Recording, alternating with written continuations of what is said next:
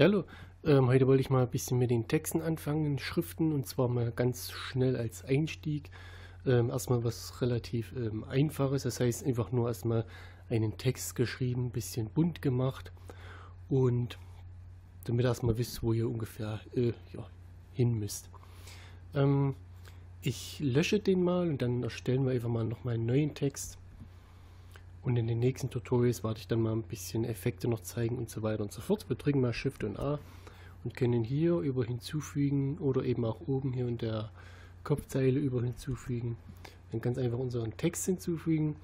Der erscheint dann hier und den können wir uns mal ein bisschen äh, zurechtschieben. Also ganz normal wie ein, ähm, ein ganz normales Objekt eben mit, äh, ja, mit R zum Beispiel drehen, mit G äh, verschieben. Und da könnt ihr euch das alles mal ein bisschen zurechtlegen, wie ihr es eben braucht, mit R und Y zum Beispiel. Und jetzt können wir im Prinzip auch schon anfangen. Generell könnt ihr die Größe auch hier schon ändern. Das geht dann auch nochmal direkt in den Texteigenschaften. Hier aber auch mit S zum Beispiel. Und wenn wir jetzt mal über den Bearbeitungsmodus reingehen, das heißt das Textobjekt anklicken, Bearbeitungsmodus, können wir hier dann eben unseren Text schreiben. Das heißt also, ähm, das ist ja das, was man am, am Anfang immer am meisten sucht. Äh, wo kann ich denn hier überhaupt äh, den Text eingeben? Da muss man einfach in den Bearbeitungsmodus rein. Äh, wollen wir den Text jetzt bearbeiten, gehen wir hier mal rechts auf ähm, Objektdateneigenschaften und haben hier dann im Prinzip wie bei allen anderen Objekten auch eben die Möglichkeit, das eben äh, zu äh, bearbeiten. Hier gibt es zum Beispiel den Füllmodus, keine hinten vorne beides. Das heißt also, man kann den Text ähm, ja, offen lassen, halb offen. Dazu muss man natürlich den hier erstmal extrudieren, damit man das überhaupt sieht. Ich gehe mal ein bisschen näher ran und jetzt zeige ich das mal. Äh, wenn wir hier jetzt ähm, auf keine gehen, ist er eben offen.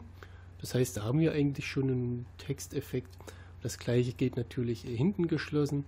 Also da hat man fast wie so, ja, so Schalenkörper. Vorne geht natürlich auch und eben beides geschlossen. Da haben wir dann eben dann richtig den geschlossenen Körper an und für sich. Hier, äh, wie gesagt, die Extrusion, also die äh, Höhe, also die Tiefe nach hinten und dann hier der Versatz. Das heißt im Prinzip, ähm,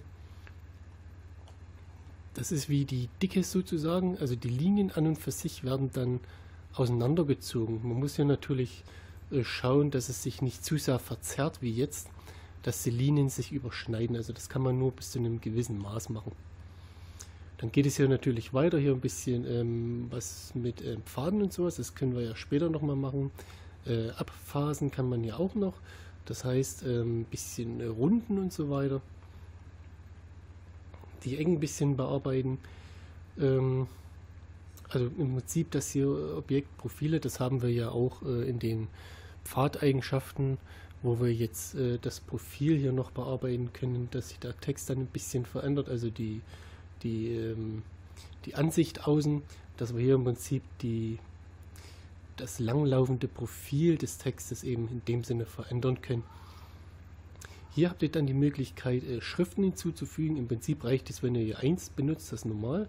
Hier geht ihr mal auf den Ordner und ähm, jetzt habt ihr hier ja, in dem Fall hunderte Schriften zur Auswahl.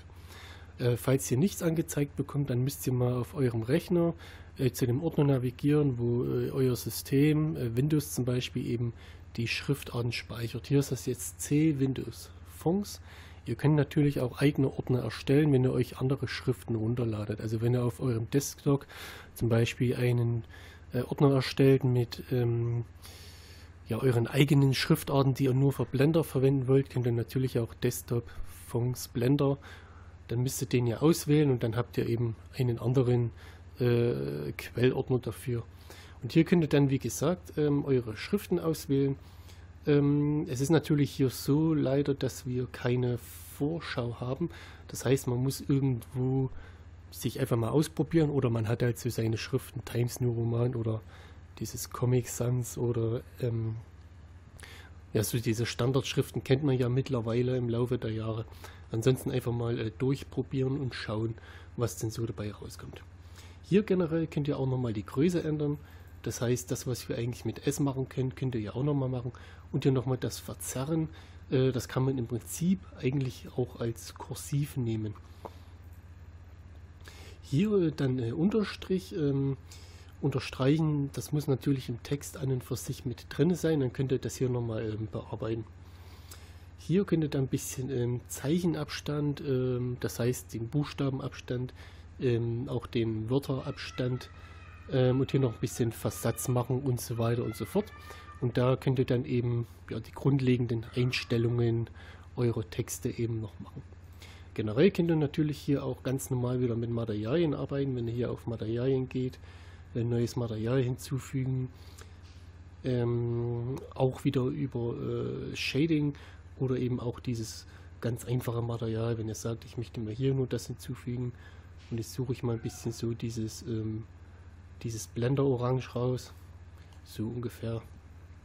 Jetzt blende ich hier mal alles äh, rundherum stehende aus und schon haben wir innerhalb kürzester Zeit äh, noch einen tollen Text erstellt und das wirklich relativ einfach. So, in den nächsten Tutorials werde ich dann mal noch ein paar kleine Effekte einfügen. Ähm, das ist alles relativ einfach. Dabei würde ich es jetzt erstmal hier belassen als Grundlage und ja, Dankeschön fürs Zuschauen.